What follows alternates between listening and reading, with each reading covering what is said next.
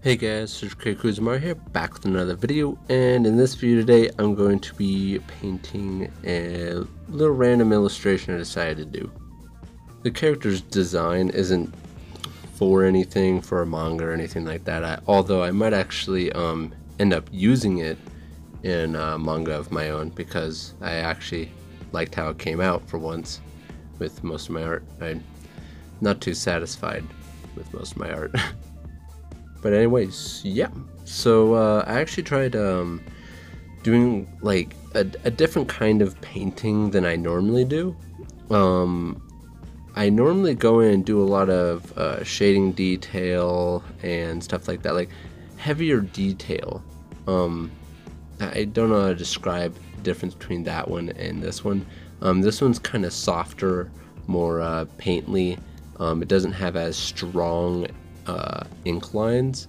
Um, the lines do look thicker, but um, they're also a little sketchier, and I do get rid of them, get, rid of some of them, and uh, thin some of them out when I uh, get further into painting it. Um, so yeah, I was trying to go more of a painty style, more soft um, coloring style with this one.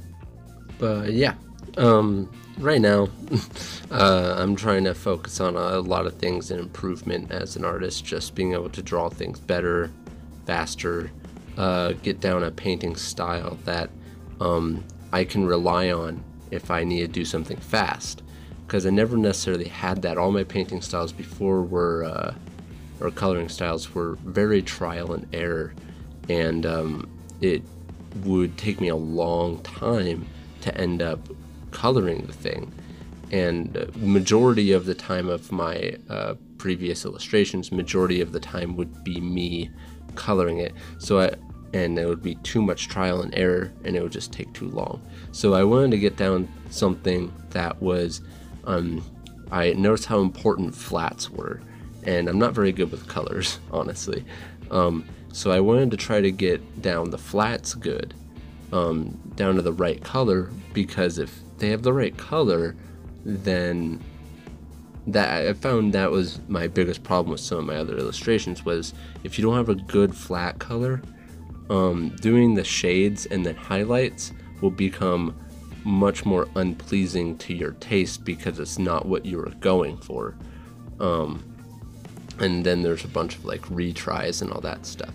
So this illustration was really me just kind of focusing on trying to go simple but just detailed enough. And uh, I don't know, I kind of like how, how it turned out. And uh, the cool thing about um, with going for a more simple coloring style like this for me, and if I get faster at it, um, I can also pull from other artists and what I learned from their techniques in order to maybe further this style and uh, get more detailed or better and stuff like that. So just kind of building on the skill level instead of jumping. Uh, a lot of the time, what I would do is I would not know how to. I didn't see. I, I practiced anatomy a lot in my younger days, and I didn't um, color at all because I didn't have anything to color with, and um, so I practiced mostly anatomy. And when I went to color, um, when I finally got digital work, it looked like poop, for one. For two, um, I tried to jump straight into doing like really good painting stuff, which I just wasn't, I just didn't have the base of painting in order to know what the heck I was doing. So it made me more frustrated than anything, and it took a long time to finish illustrations each time instead of focusing on getting the right flats, which is the first, you know, the first thing to do, and then um, getting in simple uh, shades and then getting in simple highlights. And then when you learn when you're doing stuff like that and you're satisfied with your work afterwards and you're but you want it to be more detailed you can eventually learn how to build on top of that even further.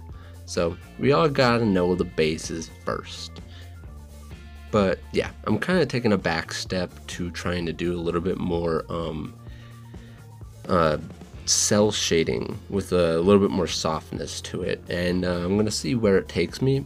Um, So uh, let me know how you guys like this coloring style because it is a, and just this art style in general, it, it is a little different than my other stuff, just slightly.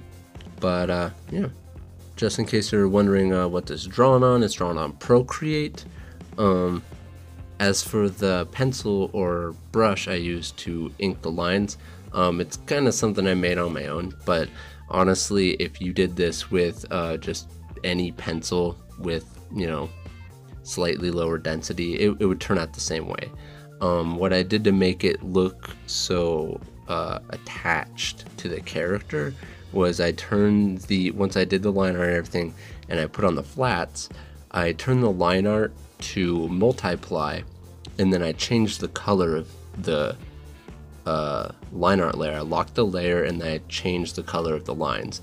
And what the multiply would do is any line that it's any color that's sitting beneath it, the multiply and the color that you put on it, it changes per color. So it gives it a better feel to it, uh, almost like the whole thing was painted. So uh, try that out sometime. I, I think I changed it to like some sort of uh, brown, but uh, you have to be careful on what kind of color you use when you're doing multiply, because um, it does work different than if you know a normal layer. Anyways, guys, um, what I used to paint this with um, was all the airbrushes that are already default there. I use those, so you guys can do the same thing.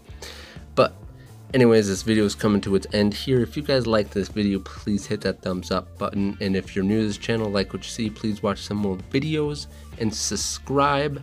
Also, tomorrow, Arms of the Dragon is coming out.